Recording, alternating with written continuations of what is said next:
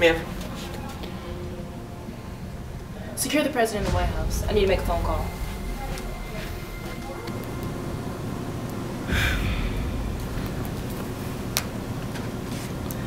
Easton, secure the bomb.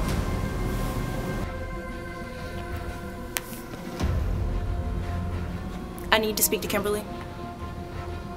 Yes, I've seen the footage. I need you to move them to the jacket hive. I said move them to B 18.